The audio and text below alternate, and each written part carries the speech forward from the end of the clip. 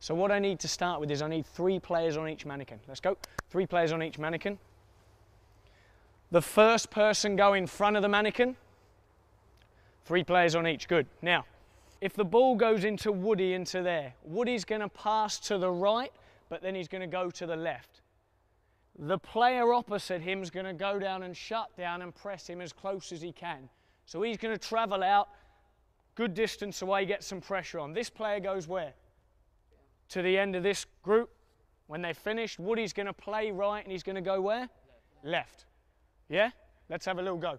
So press the man that's opposite you, play right, go to the left and move the ball quickly. Ready? I'm going to play it. Oh, yeah, chap. I'm going to play it in there first. Ready? Off we go. Play. Good. Good, Lewis. Good. Shift that ball quickly. Yeah, that's you, Kieran. That's okay. Good. Just a good distance. Get out on the front foot. Now you can take your touch either way. If you play one way, if you play right, then you go left. I want us, even though we're doing the pressing, still to get in the habit of going there, and then we're emptying our space, leaving it for who? Someone else. Leaving it for someone else. Ready? Good, Simsy. Oh, damn. When you play there, you've got to play and then move straight away. Play and then move straight away.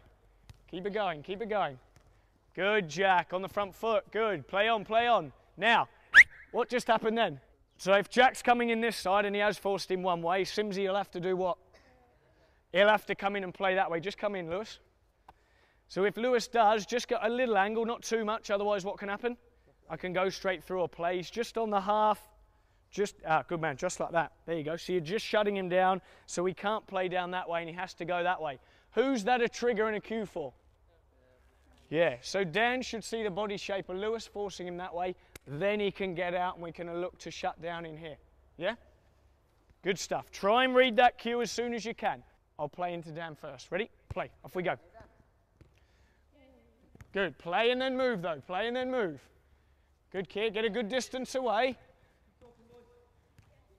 Good, good. Get on the front foot, Addy. Front foot. Good, like that.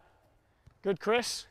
The warm-up was a technical pressing drill. Um, not any tackling, just working on the, the boys, getting in the focus and the mentality of trying to press the ball. So at the moment, we're just checking these two. So you are looking at this player and you're looking at him, but we're not looking to see where he is. So we've said before about receiving, what is it? Yeah, we've said you've got to check as the ball travels, check as it's at his feet, and then as it's coming into me, then you check. There are your three checks to play. Make sure you're working on that too, not just the press. Play it into you, Jack. Play, off we go. Good. Good, Lewis. Read those cues and triggers well. Which way is he going? Good, Jack. So as the ball travelled, someone shut down, and then as they shut down, they could read which player was the next one to go in and get tight.